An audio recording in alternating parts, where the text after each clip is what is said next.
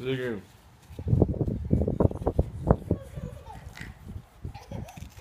snorted?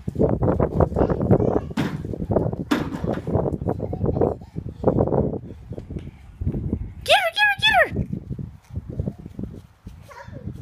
Come, she says. Don't eat that. Oh, yuck, that's for the dog.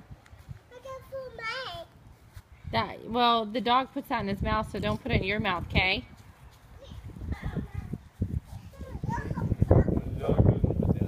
Oh, really? Oh, are you cold? Brr, is it windy? It feels great. My weed eater, of course, runs out of the wire as I'm doing it, and I can't get it to fit. Uh, How you like the new phone? it's perfect. Thank you.